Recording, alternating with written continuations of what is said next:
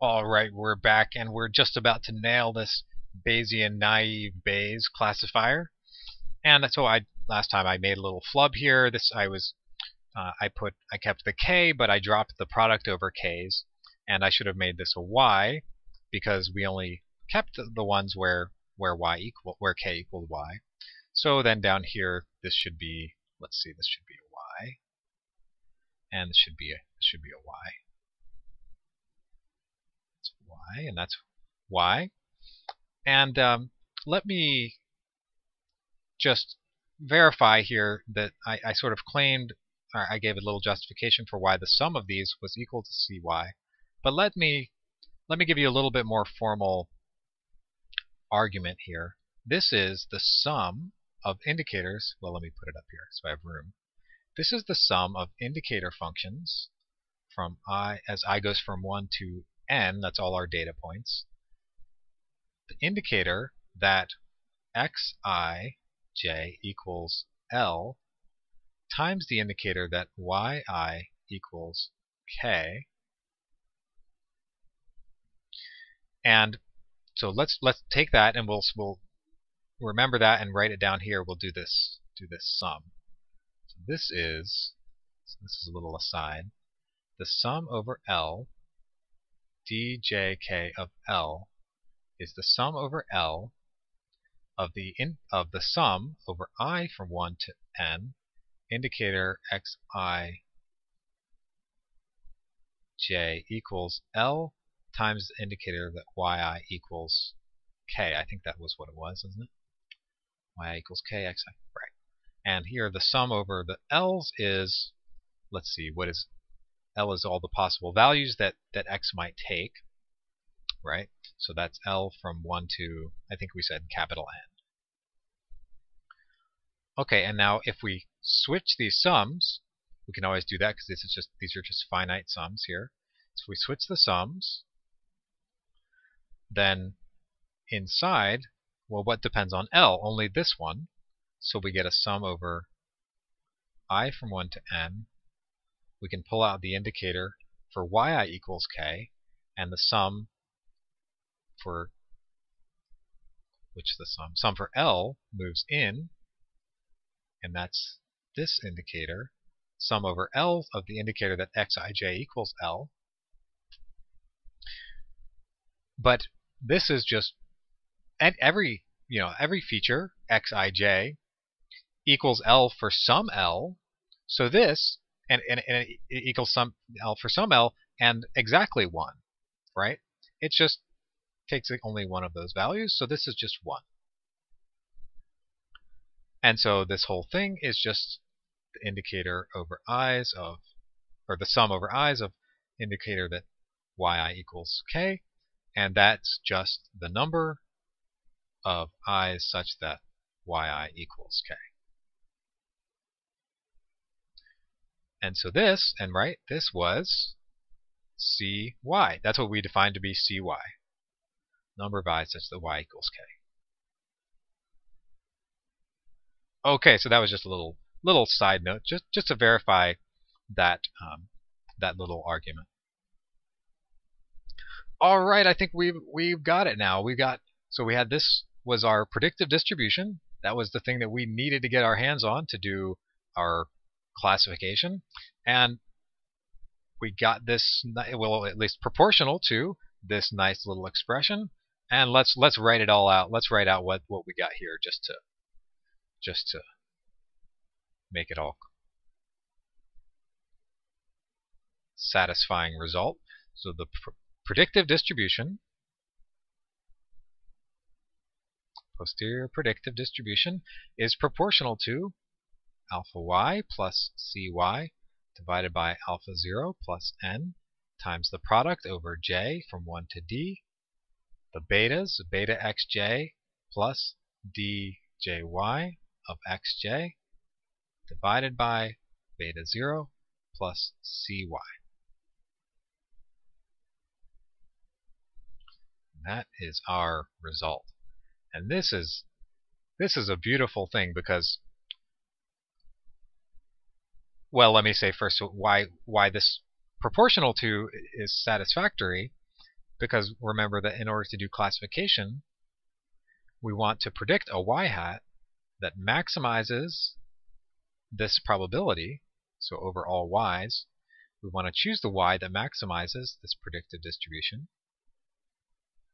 That's our optimal choice of y to minimize the, our misclassification rate. And in, since this is proportional with respect to y, then maximizing something which is proportional is the same as, I mean, as long as it's positive proportionality, in this, in this case it is, maximizing that is the same as maximizing this thing. And so we can just take the maximum over this expression, the y which maximizes this expression, and that's that gives us the same value, y hat. So this is it. This is our, our beautiful Bayesian, fully Bayesian classifier for naive Bayes. So let's let me just let's go back through real quickly and and remind you what made this a Bayesian approach and what were the key steps so we can sort of understand what's going on here. So we the naive Bayes part was just this original setup here where we had our that the features were conditionally independent given the class and given theta. And then we put some priors down. We put some priors down on our parameters. That was this part here. These were our priors. And then, so that was the first the first step to being Bayesian was we put some priors. And then we wanted to compute this posterior or this posterior predictive distribution. So we the next thing was we integrated out our parameters.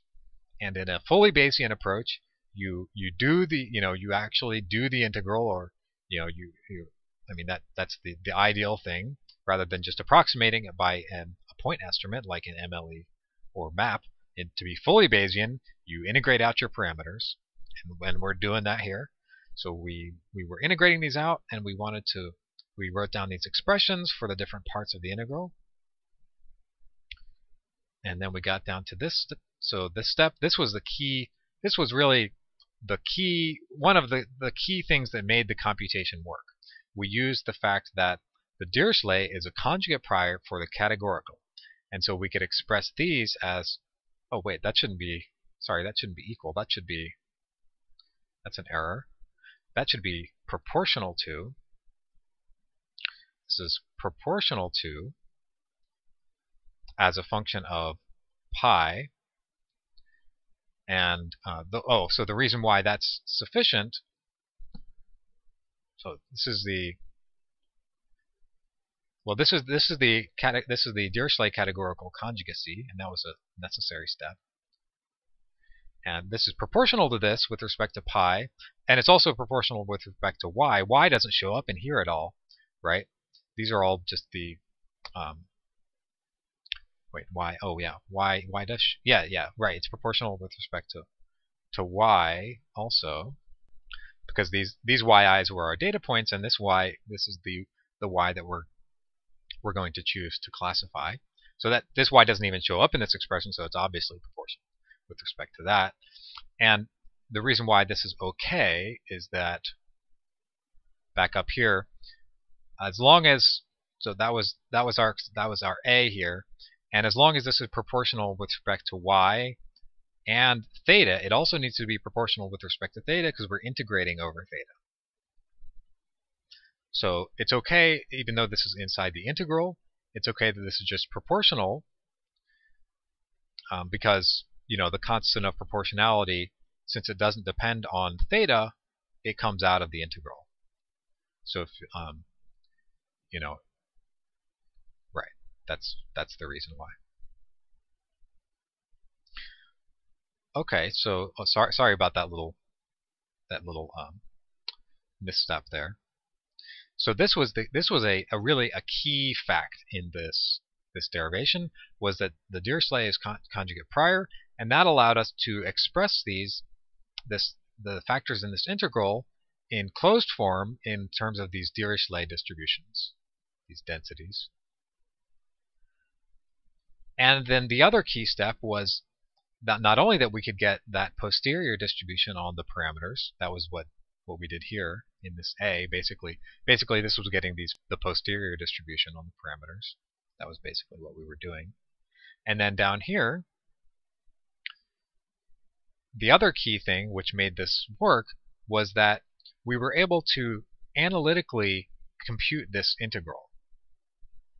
And the reason why we were able to do that was just because these the values that we were integrating over were these were just values of these these um, categorical distributions, and so these just turned into nice little expected values that we could just we could factor this whole thing. There was no dependencies between them. Everything factored beautifully, and we could just write down some nice and easy easy expressions for these means of these Dirichlets.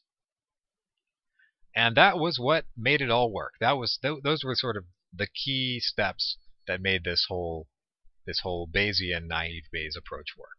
So this is in some sense the the ideal situation for this is an, an ideal case for a Bayesian a Bayesian type of approach because it's uh, most of the time or a lot of the time we won't be able to get an exact expression for something which is proportional to the to what we're looking for, like the posterior predictive, we'll only have to settle for some some approximation.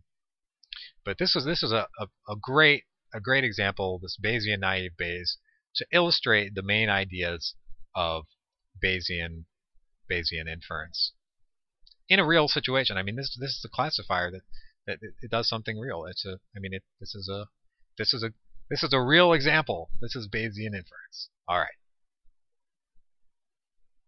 So we'll stop there, and um, and we'll leave it at that for our Bayesian naive Bayes.